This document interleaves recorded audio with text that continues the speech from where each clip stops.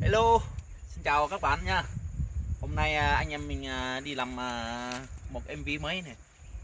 Anh em đi làm ở trên kia ở Trên núi này, trên đồi này này các bạn này Hôm nay là chiều thứ hai nha các bạn. Phong cảnh ở đây cũng khá là tuyệt vời Tại vì hôm qua thời tiết mưa quá nên anh em không có tiền làm nha. Qua tập ra hết nâng coi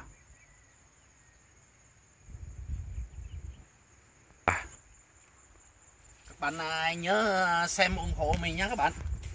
Và cùng chia sẻ và góp ý chung để mình có tinh thần hay là động lực để có video mới mẻ hơn. Tại vì hiện tại bây giờ mình có máy quay quay bằng điện thoại này.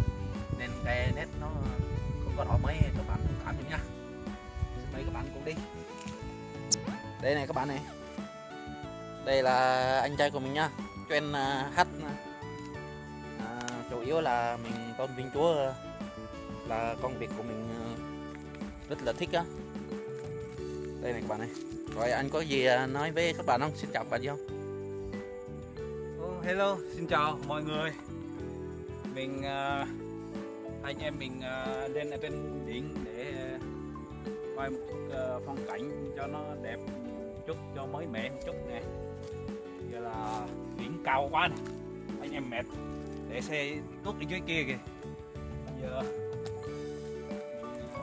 sẽ hát bài thánh ca nếu có gì ai không hay thì nhờ các bạn like cho mình ờ, nha yeah. Ôi, dốc thật là dốc luôn các bạn ơi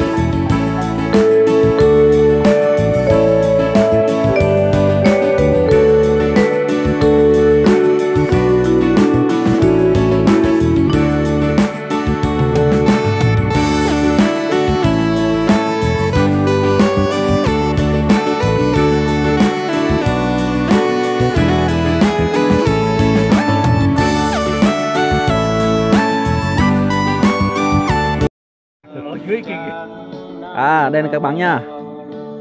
Đây là phụ kiện à, cho giúp mình à, trong khi mình làm à, MV có cả loa kéo kéo mini để hỗ trợ khi mình quay video các bạn.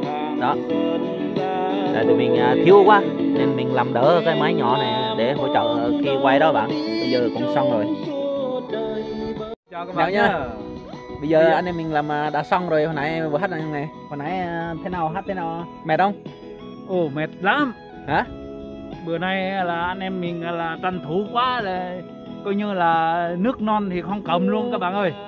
Giờ là hát là, là, là cái cổ này thì ơi hết. Lấy loa đi lấy loa. Đi về. Và đây anh em mình đi về nhé các bạn. Cảm ơn nhé